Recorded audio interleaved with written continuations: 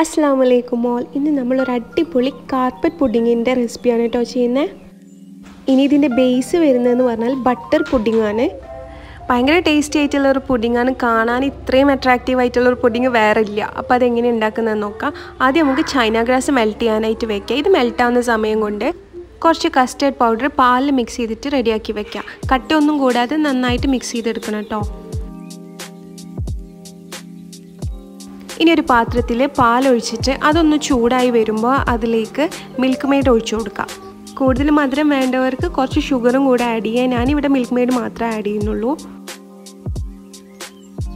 ഇനി ഇതൊന്ന് നന്നായിട്ട് ഇളക്കി കൊടുക്കുക. ഇതിലേക്ക് ഒരു ടീസ്പൂൺ വാനില എസൻസും കൂടെ ആഡ് ചെയ്ത് കൊടുക്കുക. എന്നിട്ട് ഇതും നന്നായിട്ട് മിക്സ് ചെയ്ത് കൊടുക്കുക. ഇനി ഇതിലേക്ക് ബട്ടറാണ് ആഡ് ചെയ്യുന്നത്. ഡീറ്റെയിൽഡ് ആയിട്ടുള്ള മെഷർമെന്റ്സ് എല്ലാം ഞാൻ ഡിസ്ക്രിപ്ഷനിൽ കൊടുക്കാം കേട്ടോ ഈ കണ്ടൻസ് മിൽക്കും വാനില എസൻസും ബട്ടറെല്ലാം നന്നായിട്ട് മിക്സ് ചെയ്തിട്ട് യോജിപ്പിക്കുക. ഇതിലേക്ക് നമ്മൾ റെഡിയാക്കി വെച്ച കസ്റ്റേർഡിന്റെ മിക്സ്ചർ ആഡ് ചെയ്തിട്ട് നന്നായിട്ട് യോജിപ്പിച്ച് കൊടുക്കുക. ഇനി ഇതൊരു തിക്ക് കൺസിസ്റ്റൻസി ആവുന്നത് വരെ നമുക്ക് ഇളക്കി കൊടുക്കാം.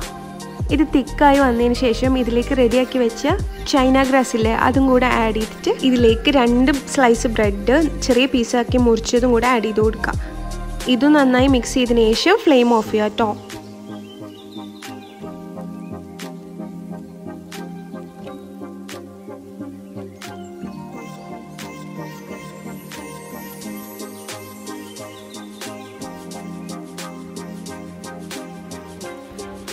ഇനി ഇത് സെറ്റ് ചെയ്യാനായിട്ടുള്ള ട്രേ നമുക്ക് റെഡിയാക്കാം അതിൽ ആദ്യം ബട്ടർ തടവിയിട്ട് മാറ്റി വെക്കാം. എന്നിട്ട് നമ്മുടെ പുഡിങ്ങിന്റെ മിക്സ്ചർ ഒന്ന് മിക്സിയിൽ ചെറുതായിട്ട് അടിച്ചെടുക്കാം. ആ ബ്രെഡിന്റെ പീസസ് എല്ലാം നന്നായിട്ടൊന്ന് അരിഞ്ഞു കിട്ടാൻ വേണ്ടിയിട്ടോ ഇങ്ങനെ ചെയ്യുന്നത് മാത്രമല്ല പുഡിങ്ങിന് നല്ലൊരു സ്മൂത്ത് ടെക്സ്ചർ കിട്ടുകയും ചെയ്യും. ചൂടൊന്ന് ജസ്റ്റ് ആറിയതിന് ശേഷം മാത്രം മിക്സിയിൽ ഒഴിച്ചിട്ട് അടിക്കാനായിട്ട് ശ്രദ്ധിക്കാം. ഈ അടിച്ചു വെച്ച മിക്സ്ചർ നമ്മൾ റെഡിയാക്കി വെച്ച് പുഡിംഗ് ട്രേയിലേക്ക് മാറ്റാം. ചൂടാറിയതിന് ശേഷം ഫ്രിഡ്ജിൽ വെച്ചിട്ട് ഒന്ന് സെറ്റ് ചെയ്തെടുക്കുക ഇതിന്റെ കാർപ്പറ്റ് ഡിസൈൻ ചെയ്യാൻ വേണ്ടിയിട്ട് നമുക്ക് ആവശ്യമുള്ളത് ക്രീം ഇല്ലാത്ത ഓറിയോ ബിസ്ക്കറ്റും ആരോ റൂട്ട് ബിസ്ക്കറ്റും പിന്നെ കുറച്ച് തണുപ്പിച്ചെടുത്ത മഞ്ചുമാണ് ഇതെല്ലാം ഒരു മിക്സിന്റെ ജാറിലിട്ടിട്ട് നമുക്ക് നന്നായിട്ട് പൊടിച്ചെടുക്കാം. ഒരുപാട് പൊടിക്കാണ്ടിരിക്കാനായിട്ട് ശ്രദ്ധിക്കുക. കാരണം മഞ്ചെല്ലാം കൂടുതൽ പൊടിഞ്ഞു കഴിഞ്ഞാൽ അതൊരു ക്രീമി ടെക്സ്ചർ ആവാൻ ചാൻസ് ഉണ്ട്. എന്നാലും ഒരുപാട് വലിയ തരികളാവാനും പാടില്ല.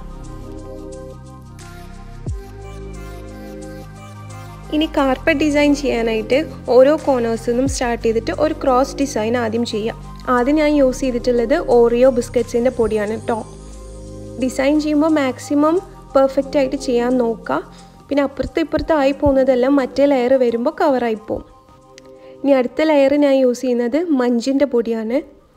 നല്ല ചൂടുള്ള സ്ഥലത്താണെങ്കിൽ ഇത് പെട്ടെന്ന് മെൽട്ടായിട്ട് കയ്യിലെല്ലാം ആവും. അതുകൊണ്ട് കുറച്ച് തണുപ്പോടുകൂടെ തന്നെ ഈ പൊടി സ്പ്രെഡ് ചെയ്യാനായിട്ട് നോക്കാം. സെക്കൻഡ് ലെയർ ഞാൻ യൂസ് ചെയ്തത് ആരോറുട്ടിന്റെ പൗഡറാണ് നിങ്ങളുടെ ക്രിയേറ്റിവിറ്റി അനുസരിച്ചിട്ട് ഡിസൈനിൽ മാറ്റം വരുത്താം കേട്ടോ അപ്പോൾ നമ്മളുടെ കാർപ്പറ്റ് പുഡിങ് റെഡി ആയിട്ടുണ്ട്. വളരെ ഈസിയാണ് ഉണ്ടാക്കാൻ അപ്പോൾ എന്തായാലും എല്ലാവരും ട്രൈ ചെയ്ത് നോക്കിയിട്ട് ഫീഡ്ബാക്ക്സ് അറിയിക്കുക thank you so much for watching I hope you all like the video please do follow for more recipes